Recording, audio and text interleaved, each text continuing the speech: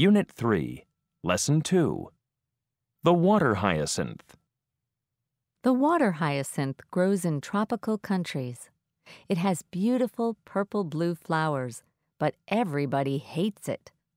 Why? Millions and millions of these plants grow in rivers and lakes. Sometimes the plants become so thick that people can walk on them. People cannot travel in boats on the water and they cannot fish in it. The plants stop the water from moving. Then the water carries diseases. Farmers cannot use the water on their land. Now, scientists think that water hyacinths can be useful. The plants are really a free crop. No one has to take care of them. They just grow and grow and grow. What can farmers use them for? Some fish like to eat them. Farmers can grow these fish in the lakes and rivers.